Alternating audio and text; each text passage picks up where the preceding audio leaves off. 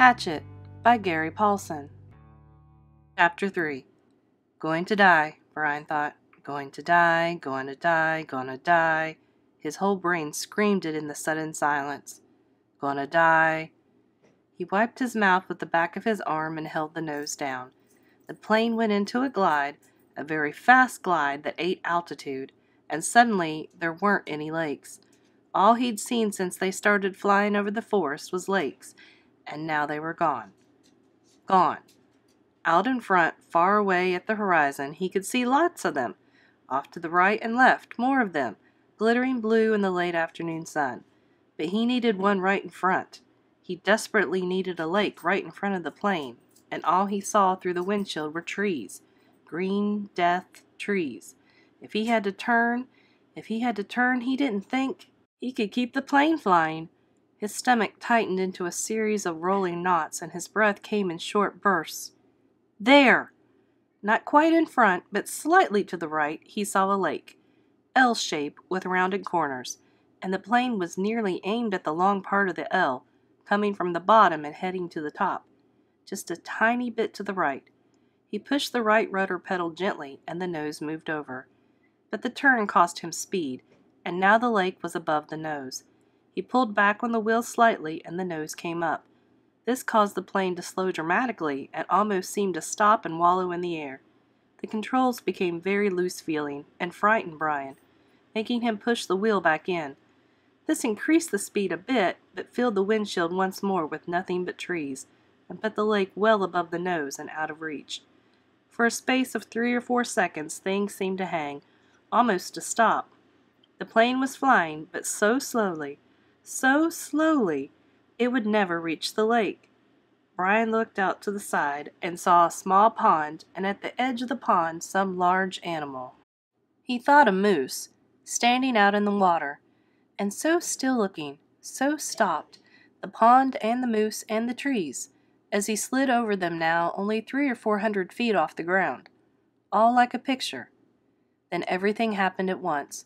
Trees suddenly took on detail, filled his whole field of vision with green, and he knew he would hit and die, would die. But his luck held, and just as he was to hit, he came into an open lane, a channel of fallen trees, a wide place leading to the lake. The plane, committed now to landing, to crashing, fell into the wide place like a stone, and Brian eased back on the wheel and braced himself for the crash. But there was a tiny bit of speed left, and when he pulled on the wheel, the nose came up, and he saw in front of the blue of the lake and at that instant the plane hit the trees. There was a great wrenching as the wings caught the pines at the side of the clearing and broke back, ripping back just outside the main braces.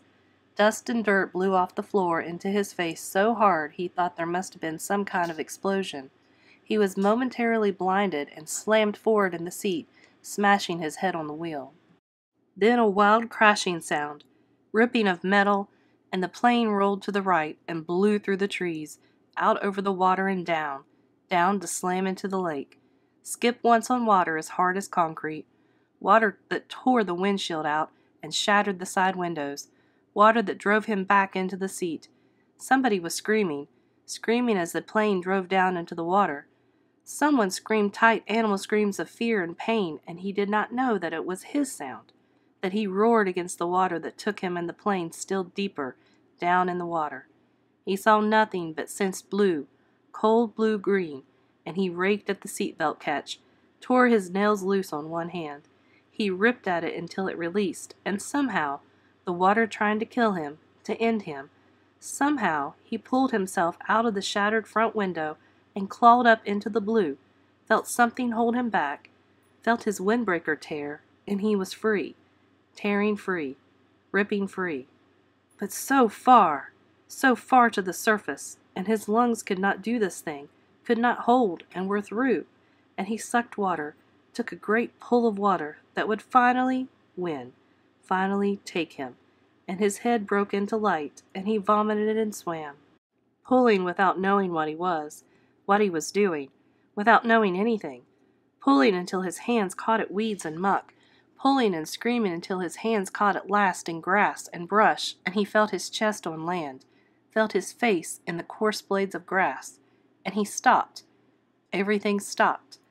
A caller came that he had never seen before, a caller that exploded in his mind with the pain, and he was gone, gone from it all, spiraling out into the world, spiraling out into nothing.